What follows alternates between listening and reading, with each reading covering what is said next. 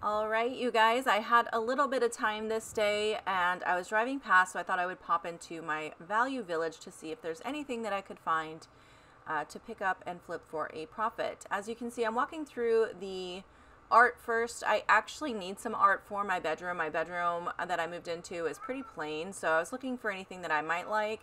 Um, oh, and that particular painting up there, my mom collects those, but I didn't find anything, so I didn't stay too long in this section. They're also doing some remodeling in my store, so this section was a little smaller than it normally is.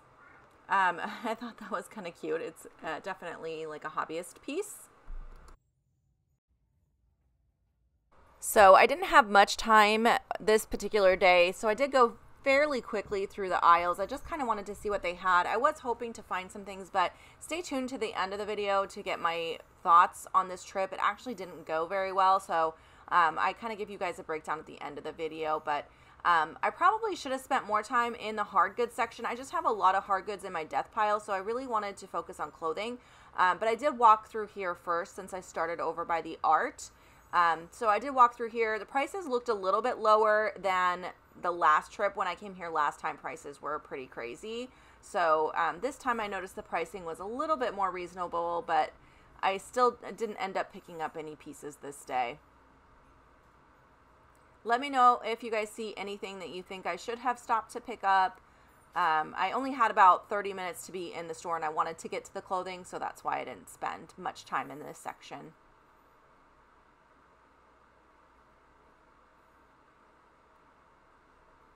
I was looking at these little pots. They were priced at $7.49 each though, and they look like just, you know, modern. Probably came from like TJ Maxx or something. A lot of glassware. I thought these plates were very pretty with the daisies on them, but they were also modern. Uh, this aisle, I'm not quite sure what was supposed to be happening on this aisle. It was kind of a mixture of things. Every thrift store I go in has one of these aisles where I can't quite tell what the theme of the aisle is. It's just kind of random. All right, we made it all the way over to the shoes now. So I'm trying to see if there's any shoes worth picking up. I had gone through like two aisles of shoes before I started filming and I was just disappointed with the prices. As you can see, these Vince Camuto espadrilles, $15. I might even like n- not even consider picking those up at the bins, so definitely wasn't going to pick them up at that price. And I've never heard of that brand, but for $12, I didn't think it was even worth looking up. They didn't feel that quality. Those were really, really light. I could tell those didn't have any quality to those. They um, they were just too light. Here's some Saludos for $9.29. I actually have been having a hard time getting Saludos to move, so I've been I've been really picky or basically not even picking those up at all anymore, even on $2 a day. Here's a pair of Frye um, shoes. I don't like the style on these though, and they had them priced at $20. So I did not grab those. So I have been to this store several times with you guys before, like filmed videos with you guys in this store. And this is the problem I find all the time at this store, which is why I almost never come here anymore. Their prices are just so high.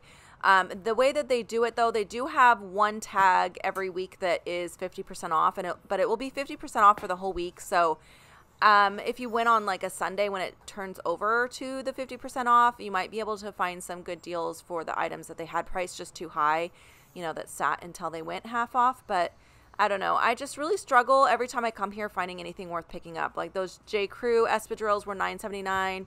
I don't know. Espadrilles in general don't do very good for me. I don't know why I'm looking at so many pairs of espadrilles this particular day.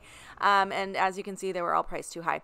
I wanted to show you this too. It's a Loungefly, um, just a wallet. At the, they had priced at $25. So uh, I was just really struggling to find anything. And then I went to, through the purses. I didn't see much here either. Again, it's either just really overpriced for the items that were quality or just a lot of non-quality items. So um, anyway, I'm pretty much wrapping up my trip here. I did go through a few more aisles, but didn't film because I was kind of waiting to film until I found something, and I just really never found anything. So I ended up leaving empty handed. Oh, this, by the way, was very, very fake, extremely fake and poor quality, and they still had it priced at $35, which I thought was pretty hilarious. So that was kind of my luck that day at this store.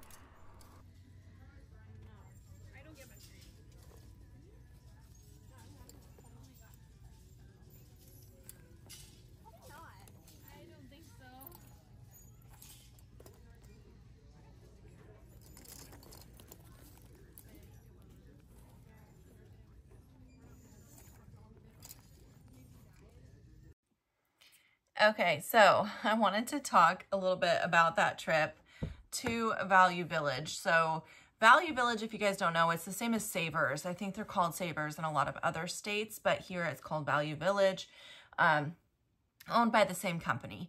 So it is a for-profit, like most of the thrift stores are. Most of the big chains are for-profit.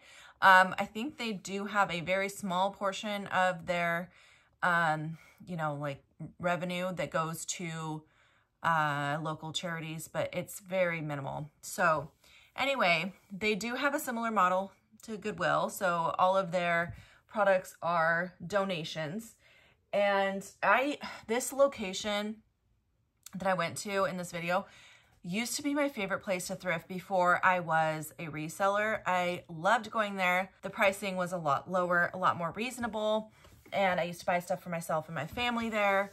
Um, so it's just really sad to see what's happened to the store. So on top of the pricing being what you guys would have seen, just really crazy. In fact, I don't even know how much I showed you guys on camera because I was trying to save the filming for when I found something, but I wasn't finding anything. I found like a pillow that I was kind of interested in. It looked like a good quality pillow, but then I noticed there was some damage on it and it was unbranded, even though it was like a tapestry pillow and the quality looked okay, but it was uh, unbranded. So I think it might have actually been like Shein or something. And there was some poles in it um, and they wanted $8 for it. So I don't know. It's just like that was one thing. I showed you guys the wallet. There was shoes that I would have potentially been interested in, but their shoes were priced anywhere from like 15 to 15 to 30 dollars i did find a pair of Frye boots and got excited about those until i saw that they were 30 dollars um, and a really small size so there was a lot of negative factors on top of that um, and worn they were pretty worn what else did I see? I'm trying to remember now. I did see a pair of Harley Davidson boots. Those were $40, also a small size. I don't know. I just was really disappointed. So that's why I wanted to have like a little chat after the video.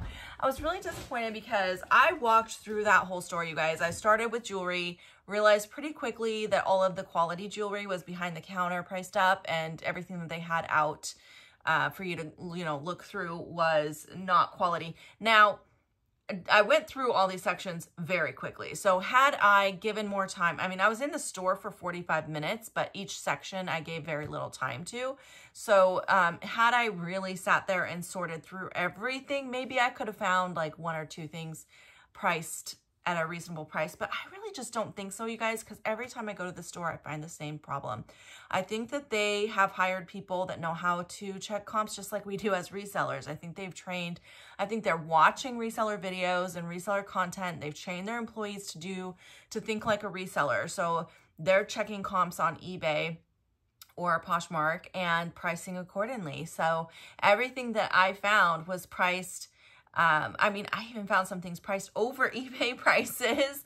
Um, I found a vintage uh, silk two-piece set that I thought was really cute. Based on style, I might have bought it because I do like buying vintage, but they had it priced for the set, the two pieces, for $50. And when I checked on eBay for that particular vintage brand to see if maybe it was like a really well-known vintage brand, I'd never heard of it, um, they were selling for like $30 for similar pieces. So I obviously was like, okay, that's not to work. So there was just a lot of really disappointing, they're just, the prices are, um, they're just not as a reseller, there was nothing, I, I couldn't find anything worth reselling, even though I went, like I said, started to say, I went through the jewelry, I went really quick through the hard goods, went through the pillows and linens, even looked really fast through the toys to see if there was anything I recognized. I went through shoes, handbags, and um, I went through a couple racks of clothes. And then at the end, I was so disappointed, you guys, because at the end, I still had like 15 more minutes. I was like, I want to find something. So there was a new rack just sitting there. Um, like they put them in the center aisle and then they take stuff off of it, go put it away and come back to get more. The employees do. So I saw a new rack sitting there. There were no employees standing by the rack. It looked like whoever was, you know, taking stuff off that was not there. And I've never had an issue at this store before looking at the new rack. So I started to look through the, the rack. And as I was looking through it, an employee started walk up to the rack. And so I did what I always do when that happens. I step back and say, oh, I'm so sorry. And started to walk away um, because I, you know, I, I, I don't know if they have a problem with it, but I always feel kind of weird. So I'm like, okay, I'll just, I'll leave. But I didn't prevent him from being able to do his job. I just kind of stepped back like, oh, sorry about that and started to walk away because I wasn't finding anything anyway. And he's like, just so you know, you're not allowed to look through these racks. You need to wait till we put them out on the floor. And I was like, okay. That was kind of like the last straw. Like he was nice about it, but at the same time, I just felt really unwelcome. And it's like at that point, I'm like, already I felt really every time I go here, I, I feel so frustrated when I see these prices so high. And I know most of it they're not selling. I can't imagine what they're doing with it. They used to do sales. They stopped doing their sales. They used to offer like 50% off sales once once a month for the whole store and they don't do that anymore. And they used to send all kinds of coupons. I still get the coupon emails, but they're very rare now when I get them. And when I do get them, there's always in the fine print uh, a max discount. And the max, dis- they'll say like 30% off all shoes or something. But then there'll be that max discount in the fine print and it's always something crazy low. Like one time it was literally like $8, max discount of $8. So it's like, okay, 30% off what? Like one or maybe two pairs of shoes at the way you guys price stuff? Like, how is that? It's not that good of a discount. I don't know. So there's that. They stopped doing their sales. They stopped doing their discount. They raised the prices to crazy amounts. At this particular store, they shut, they used to have dressing rooms and they used to have a restroom. They shut them down. You can't use a restroom or dressing rooms anymore, which makes it really hard when I'm shopping with my toddler because she sometimes has to go randomly. Even if I ask her if she needs to go before we leave the house, we'll get into the store and she'll be like, I have to go right now. And so it's very inconvenient. I've had to like leave the store with my cart and run across the street to somewhere that has a bathroom before. And, you know, it's just like all those little things add up to the point where it's like, I just don't feel comfortable shopping here anymore. So I am not going to be shopping at Value Village anymore. Sorry for the rant, you guys. I just got super frustrated today. It's like, geez, like, yes, I know I'm a reseller. I know some people are going to be like, oh, you shouldn't feel entitled to get good deals when you go to thrift stores. And it's not just about that. It's just like the principle. Like they're getting this stuff for free. They mark it up to crazy prices. I know they're not selling it to our local community. So I feel like what they're doing is marking it up crazy, getting as much as they can out of the stuff, and then probably selling it in bulk to like third world countries um, and you know selling it by the bale or something i don't know or selling it to um, like recycle textile selling it for recycled textiles or something. I don't know what the heck they're doing but they are not selling it to the community. So it's just frustrating. It's really frustrating. So I am not going to be shopping at Value Village anymore because every time I go in there, I just leave kind of annoyed and frustrated. And then today, like I said, after that employee was like, "Oh, you can't you can't look at these racks." I'm like, "Why? You have it just sitting on the floor here." Like, I don't know. It just kind of rubbed me the wrong way. And then I left. I as soon as he said that, I was like, "Okay, I'm not going to waste any more time even though I had like 15 more minutes. I'm like, I'm not going to waste one more minute in this store because I can't find anything I don't feel like they really actually value their customers at all because they've gotten rid of all of their deals and sales and their coupons that they used to do, everything is just like gone. Um, they don't have a restroom. They don't have, I mean, they just stopped catering to like the people. I don't know. It's weird. Maybe let me know if you guys think I'm being too sensitive or too critical or whatever. Let me know. But I'm just, I just like, I was fed up with them today. I was like, that's it. I'm done. No more Value Village. But luckily, my Goodwill, which is actually even a little bit closer to my house, um, is their prices are crazy still, but they're they still do sales.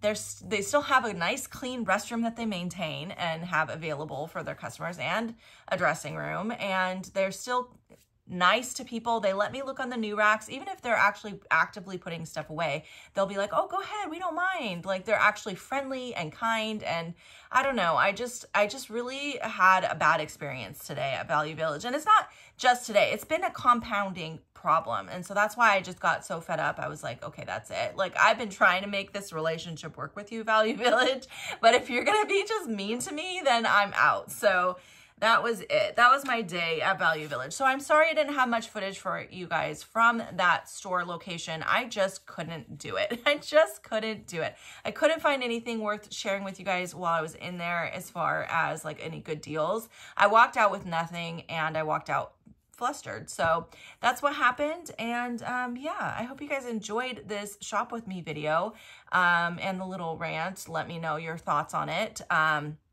I'm sure it'll be divided. Some people are gonna, if you're a reseller, I think you'll sympathize. If you're not, probably think I'm being entitled. But either way, let me know your thoughts. And um, that's it. I will see you guys in my next video. Bye, guys.